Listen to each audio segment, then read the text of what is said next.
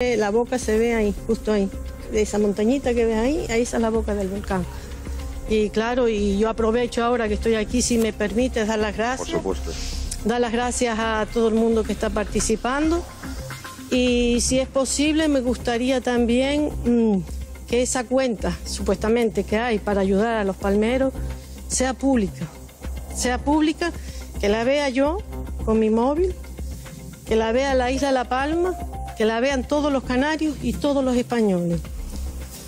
Porque sí, dicen que nos están ayudando y, y sé que nos están ayudando porque yo tengo amigos en Las Palmas y en más sitios y nos están ayudando.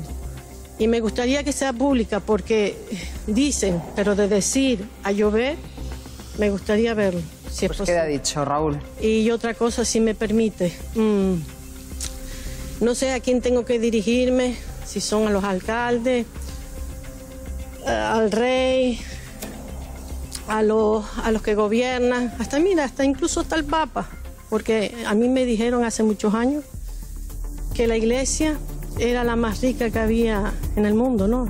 A nivel mundial. Y me gustaría saber dónde está ese dinero que mucha gente marca la X cuando hace la declaración de la renta, ¿no? Sí, yo sé que hay muchos gastos y que la vida no, no es fácil y hay gastos. Pero me gustaría saber por qué la iglesia, si, y, si, y si me equivoco, me corrigen, que yo no me importa pedir, vamos, perdón y lo que sea. Pero me gustaría saber dónde está esa gente cuando España, Canarias, se quema, se inunda. Pues ahora la lava. ¿Dónde está esa gente?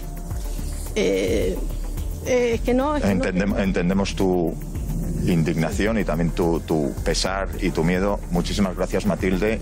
Eh, estabas ahora mismo, me has dicho, tengo que, que seguir cocinando, tengo que cocinar para muchos. Sí. Te agradecemos que nos hayas atendido y sobre todo transmitirte toda nuestra fuerza y que no tengas que hacer uso de esas maletas y no tengas que salir Vale. De tu propia casa. Gracias. Muchas gracias Atiende, a atiende a tus nietos. Muchísimas Muchas gracias, Matilde. gracias, vale, gracias a todos.